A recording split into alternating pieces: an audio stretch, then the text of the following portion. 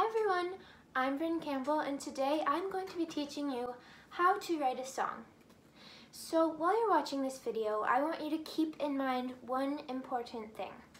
Take all of these steps and tips with a grain of salt. Everyone is their own artist and has their own perfectly unique songwriting process that works for them.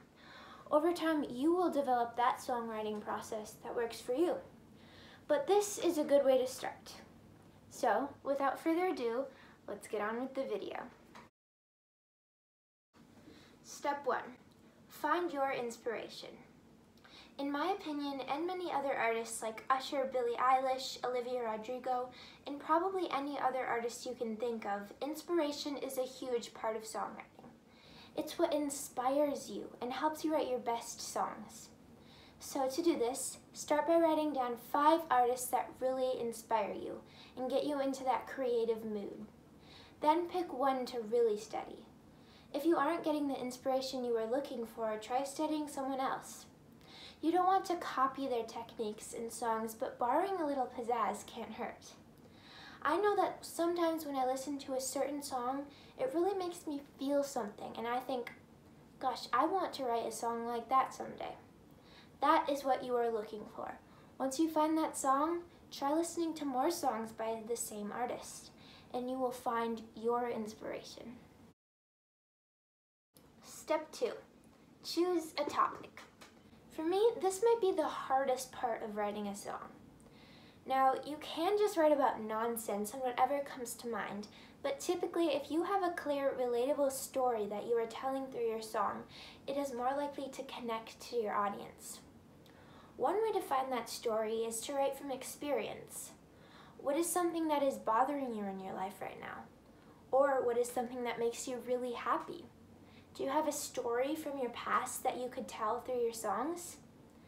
If you don't feel like you have enough experience in your past that you could write a song, then just come up with a story or write about someone else. As long as it is connecting to your audience, then you have a song.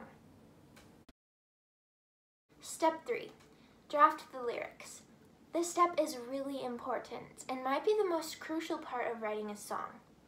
Keep in mind that a lot of artists don't start so early on with this step, but in this video we are going to. Now, like I said earlier, the lyrics are really important and they are certainly a process. The lyrics are what is telling the story and they're what connects to your audience, what makes them want to listen again and again to find out what your song really means. So some lyric tips are, if you can't find the perfect rhyme, alliteration works too. Use unique words as often as you can. Make sure that you are telling the truth in your lyrics. Make sure your audience can understand your lyrics.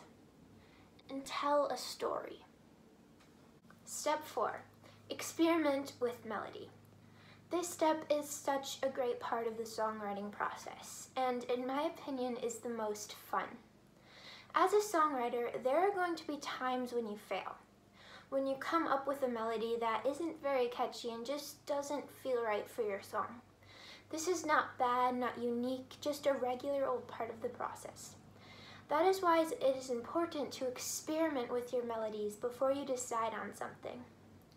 Billie Eilish, a pop artist you may have heard of, uses this technique all the time in her songwriting.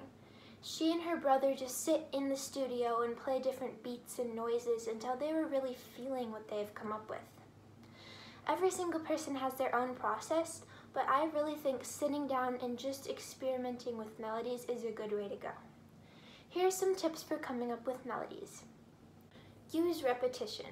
This is a way to make sure your audience can remember and sing your songs. Also use contrast. You could make your verses different tempos than your chorus or make your bridge lower than the rest of your song. Don't make your chord progressions too complicated. They might sound really simple when your song is at the bare bones stages, but as you continue on the process, there will be more added. Warning, this tip is going to save your songwriting life. Drumroll please. Record all of your ideas. If you forget a good idea, then it is one of the most devastating things that can happen to a songwriter. You might remember it later, but chances are you won't.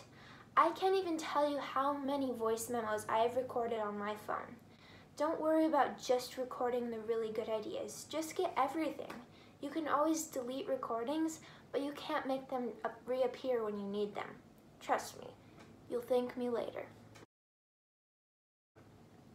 Step 6. Make your lyrics and melody flow together. This tip is one you should keep in mind whenever you are writing. When your melody and lyrics are very contrasting, sometimes the song doesn't make very much sense. For example, if you wrote really sad lyrics but then had an upbeat, happy melody, then, well, something about your song is going to sound a bit off. Try to match your melody and lyrics so your song portrays the correct idea that you are trying to put out into the world. Step 7. Ask for feedback. This step can be really stressful and nerve-wracking for all of us. You are putting yourself out there and making yourself vulnerable, asking for honest feedback about a song you have already worked so hard on. I know that when I have worked really hard on a song, I just want people to like it. But it is crucial to get someone else to listen to your song and give an honest opinion. It may not be what you want to hear, but also make sure you ask someone who will actually be honest with you. Just getting compliments from your mom and best friend isn't really going to push you along. There is nothing wrong with getting praise, but some critiques are good also. Step 8. Collaboration. Some of us love it and some of us hate it. No matter which side you're on, collabing with someone can sometimes be really helpful. You get varying ideas, honest feedback, and you can have fun. But you can't just collaborate with anyone. There are definitely times where you try to work with someone, but it just doesn't work. Maybe even someone you really like. You may disagree or both want to be in charge, and it doesn't work out. But when you find the person you can work really well with, you can combine both of your talents and skills to make amazing things. This step isn't for everyone, but I would recommend trying it out. Step 9. Bring your entire song together. Okay, it's been a crazy journey of writing, experimenting, finding inspiration, getting feedback, sharing your music, maybe collaborating, and more. Now it is time for you to get your song together and put on the finishing touches. This might be finding someone who can professionally record your song or just finishing up the final chords of your accompaniment. Whatever it is, do that now and finish up your song. Step 10 the last and final step. You've finished your song and now it is time to show it off. You don't have to share your music, but it can be a good reward for all of your hard work. I have been working on a song with you while making this video, and now it is time for me to share it with you. A little backstory, I wrote this song for a teacher who started this outdoor class, and I've been going to it every week with my friends. It makes me so much happier and I'm so sad that it is coming to an end. So, me and my friends are going to perform this song that I wrote for her. I hope you enjoy. Here it is, Wesley's song.